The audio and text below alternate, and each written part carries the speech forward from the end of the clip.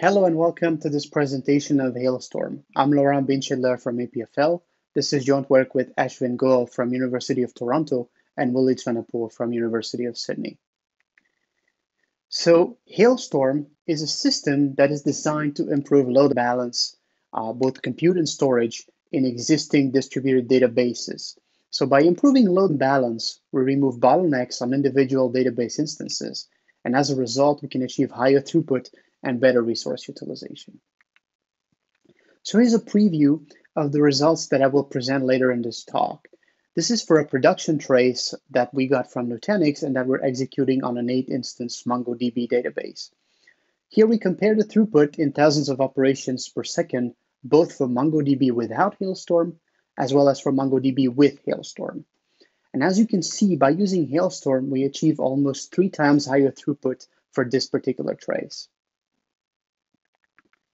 Now in this talk, I will first go through some background on distributed databases, the load imbalance problem, as well as shard rebalancing. I will then present the Hailstorm architecture, what it is, how it works, and what are the key techniques that we're using. Finally, we will look at some performance results. So let's start with the background. So here we have an example of a distributed database. And a distributed database consists of multiple instances running on separate nodes in a data center. Distributed databases shard or partition data across instances in order to store large data sets. So here we're showing an example of a generic database with a number of instances. Each database instance bundles a storage engine that is responsible for persisting the data on files on the local disk. Then you have clients that interface with distributed databases to store and query data. So the database translates the client's operations into individual data accesses and data storage requests that it then routes to the instances that are responsible for the corresponding partition or partitions.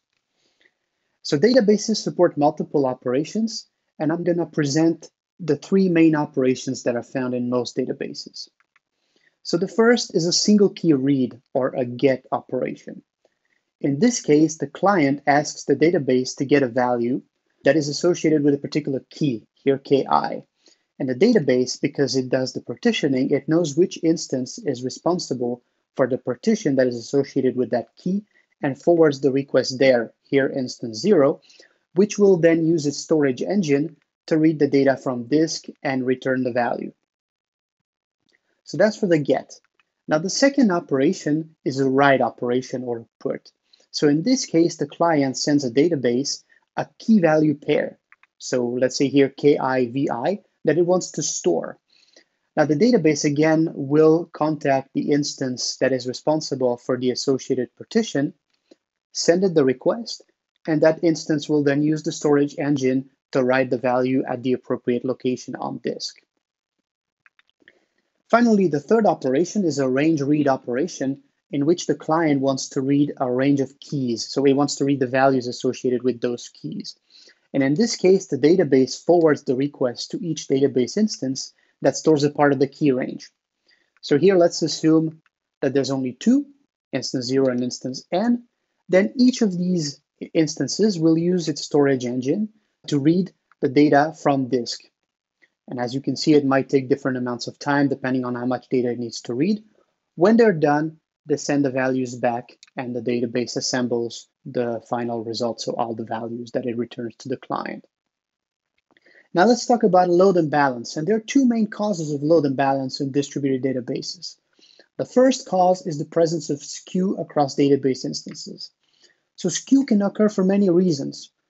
For example, it can be that a key is more popular than others, or it could be that the sharding function assigns more data to one instance. In this slide, we're showing a situation where one instance, instance zero, has a lot more data on disk than the other instances. And this can cause capacity problems because the local disk has to store all that data locally. Uh, it might not have the necessary capacity to do so, but more importantly, this situation can cause uneven accesses because now that instance will be doing a lot more work since it has a lot more data, and that will cause more I.O. as well as more CPU to be used on that instance, and this could lead to a load imbalance and specifically an undesirable scenario where that instance becomes a bottleneck for the entire database. Now, the second cause of load imbalance in distributed databases is background operations. So in this work, we're mostly interested in what is called LSMs, that is log structure merge trees. So these are a type of storage engines that are very popular and they're especially effective for large datasets that do not fit in memory. That is why they're used widely in existing distributed databases. LSMs are optimized for write-heavy workloads by writing data in a log, but they also execute background operations, which we call compactions, to maintain the on-disk data structure in order to allow for fast reads. So these compactions basically involve sorting and merging files in order to make the read operations faster so that you can easily locate the data. These compactions are both CPU and IO intensive. And this can be a problem because they interfere with the main database operations and can cause load imbalance. So here, for example, the storage engine that is running on instance zero is compacting the LSM on disk.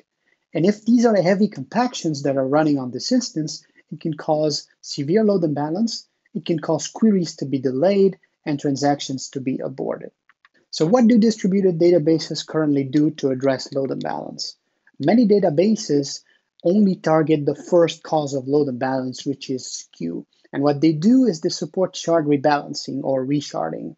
So resharding is basically sharding again. That is, it involves migrating an entire shard or parts of the shards from one database instance to another in order to hopefully improve the load balance and to remove the hotspot on the instance that's already overloaded.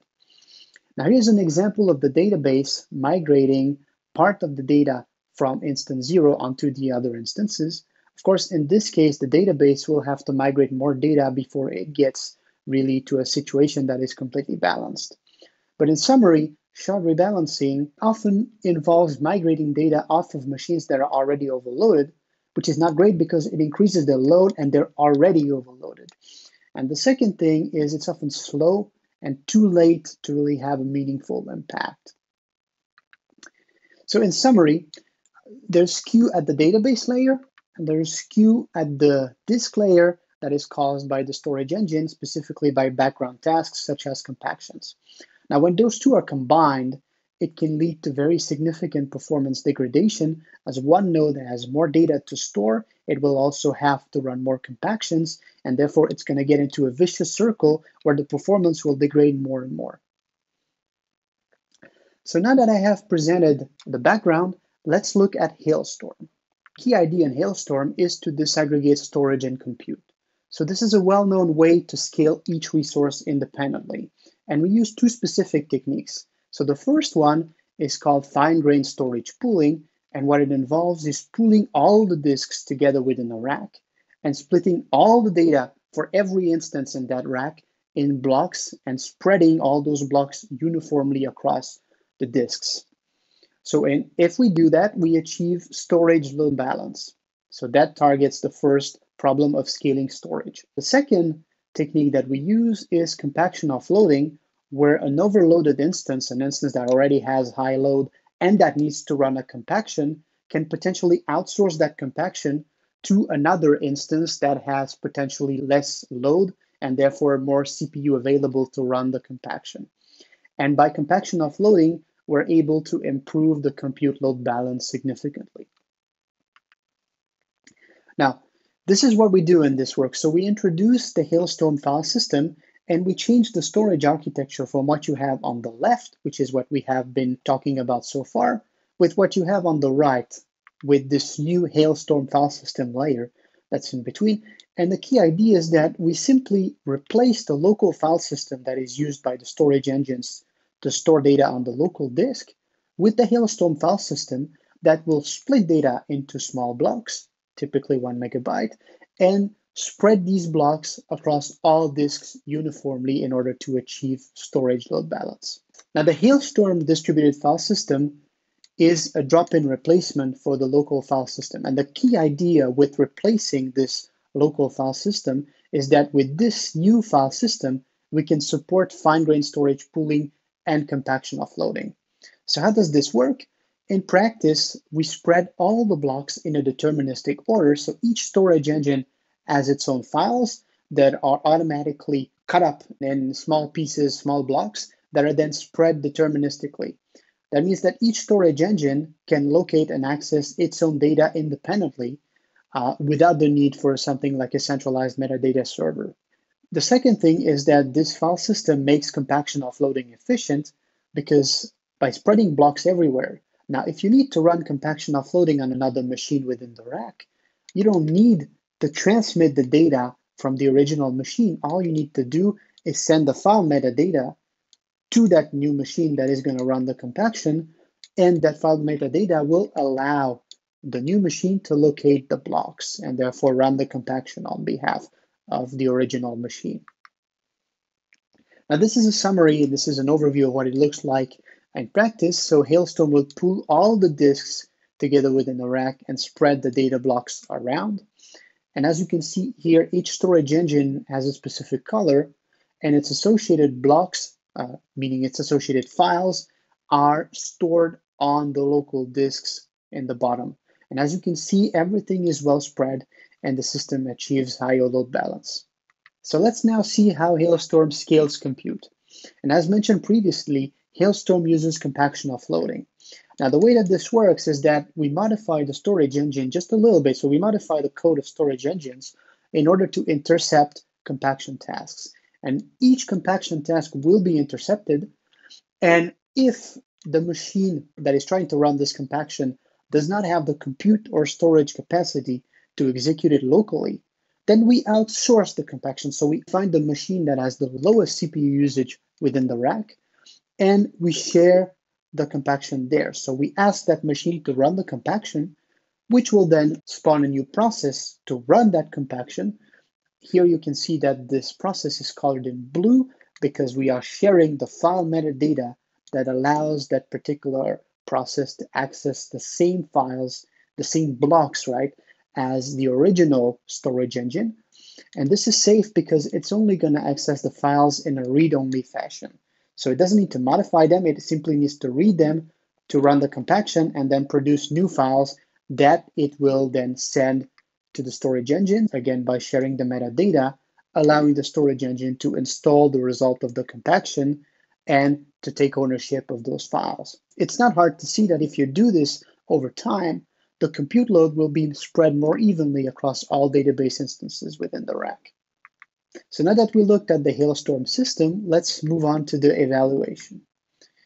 And in this case, we're going to use eight 16-core machines. The machines have some RAM, they use SSDs, and a fast network. And we're going to use two databases. The first is MongoDB, which is probably the most popular distributed database today, uh, and MongoDB has a key value store interface. The second one is TiDB, which is an increasingly popular distributed database that offers SQL transactions.